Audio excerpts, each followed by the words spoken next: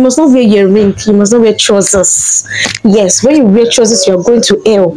People place standards on other people that they can't even live up to themselves. No daughter of mine will ever wear trousers. If I get to school, I wear trousers. But when I'm I'm at home, I have to wear skirts. Yeah. If you say that your teenage child is going to look at me and err because of that crop top, then I'll say that you haven't done a great job in parenting. It means that you're also leaving the responsibility of you as a parent to Tolulope Solutions on the internet.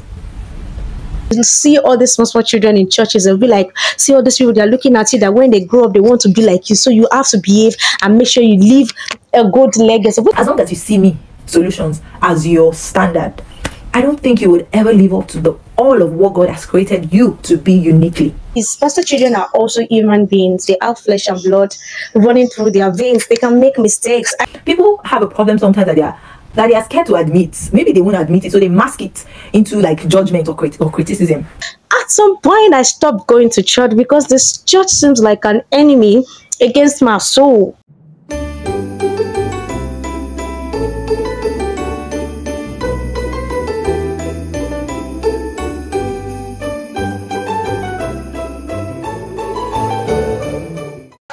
Hi guys, welcome back to my YouTube channel. Thank you so much for tuning in um, Tolu of God if you're seeing this video for the first time. So let's jump straight to the video. So I'm talking about why are pastors' children always rebellious. Now I watched a video of Tolulope Solution ranting about how people expect her to behave, to dress, and to do in the society, in the community. And I could sense and relate to the pressure she has felt and been dealing with for the past few months or years. According to her, honestly i could relate because i'm also a pastor's child and i know what it means to be a pastor child like the the church expectation of you as a pastor's child it's it's so high and they expect you to be always well behaved. They don't want to see any, anything bad about you. They will always it and you said you're a pastor's wife. We're going to discuss that today. So why do people always have this unnecessary expectation? Why? Well before talking about that honestly when i saw a video of um Tolulope solution talking about that and how pissed off she was. At some point, she even gave a savage. I love the video. If you have not seen the video, please I'll drop it in uh, the comment section. If you can go and watch it, it's so funny and um, so enlightening too. I really feel that people should just drop this pressure of, um, you know, their pastor's children. This is how you should behave.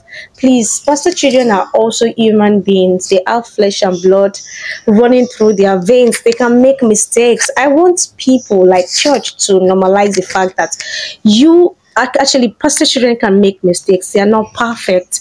You understand? And instead of you um, condemning them, I feel like you can actually love them and then correct them in love instead of castigating them and saying, "Oh, and their pastor's children, look at that is behaving." Blah, blah, blah.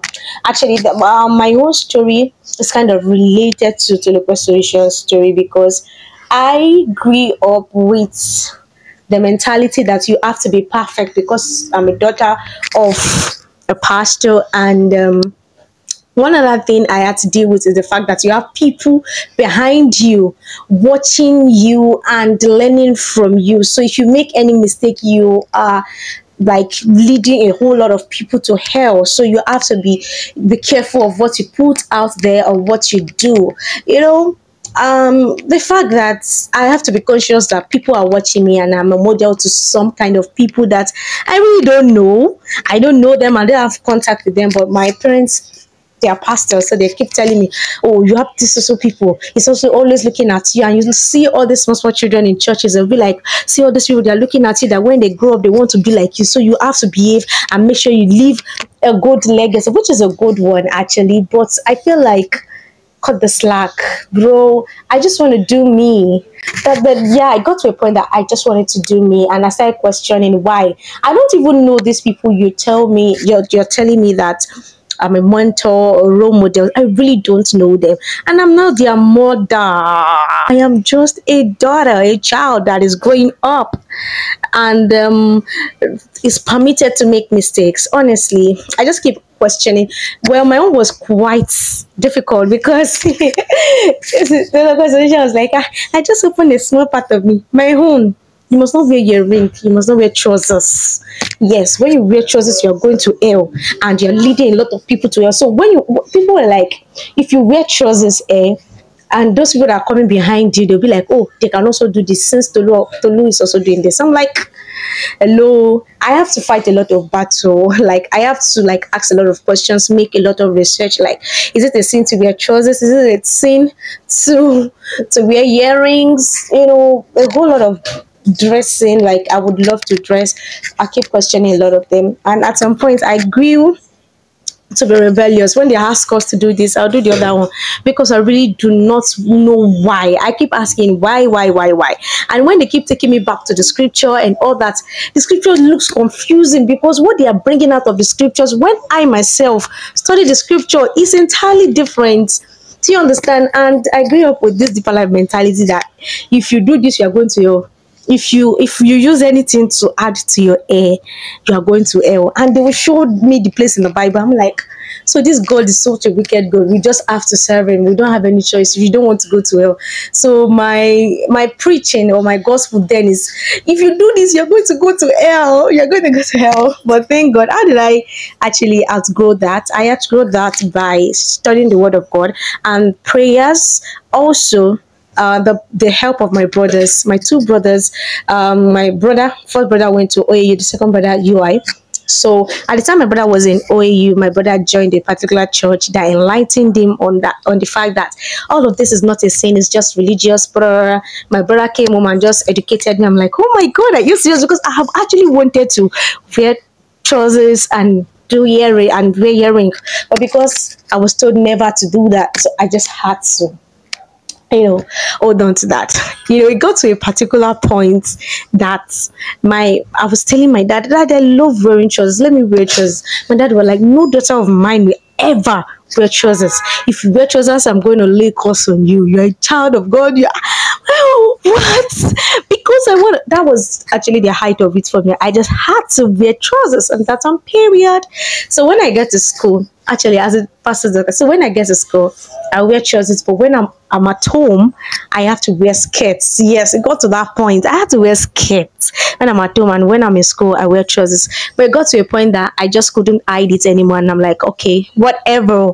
So i started wearing trousers in church in in at home and my parents were so concerned and at the same time they were like if they stop me from wearing it what, they don't know what i'm doing at home. And that's one of the things i i actually appreciate about my parents the fact that they allow me do my thing although it wasn't easy because it was a lot of struggle for them because they feel like this girl is doing the wrong thing. But at some point when they kind of notice that no this thing is actually going to lead this girl astray let's just leave her to do her thing and then correct her in a particular way that she'll be able to listen to. So at that point they just left me. And then they just said that ah, you can't be wearing it to church because in their in our church we don't wear trousers too church but you can wear it to every other places. And that's how it all started. I was able to break free from that bondage that the church puts ch pastors children pastors this and that in. Because i I, I had to rebel against those things. So at that point i really do not care. And a lot of people said a lot of things. Ah but i was just in that space of i just want to be happy. I just want to do what makes me happy. Why is that so bad. And if i'm doing something wrong why should i be termed as uh what should i be termed as they even told they said they said i have backslided i'm not following the world. You know people stop some people stop talking to me because i to, i decided to do something that i'm truly happy with and i believe that god is also happy with me but the church is not. So i had to just um, you know ignore them. Actually i did a lot of ignoring. I did not really care about what people say about me. In fact i had a lot of gossip a lot of things that the church said. At some point i felt like running away from the church. At some point i stopped going to church because this church seems like an enemy against my soul yeah, I got to that point. I stopped. Then I I just on one Sunday one Sunday morning like that, I just strolled down the streets and God led me to, to, to a particular church. That was when I was in school when I was in UI then, and that church was so transforming. And like I said, that was the church that uh, also because at that point I was hungry for the knowledge of God. I wanted to know what is the word of God. I wanted to stop believing what people are telling me about what the scripture is, what the Bible is, and start believing God for myself. I start studying the word of God and to listen that ah, let me study, let me know God for myself. At that point, I was like, no, I want to know God. I want to stop listening to what people are saying about God. I want to hear God for myself. I want to know God. And at that point, I'm so I'm so happy I did because I'm in a better place now. So thank you so much for watching. What is, what are your thoughts and what has been your experience with your pastor's child? Let me know in the comment section and do well to give this video a thumbs up, like, comment, and share. Thank you. Thank you so much. I'll see you in the next video. Bye bye.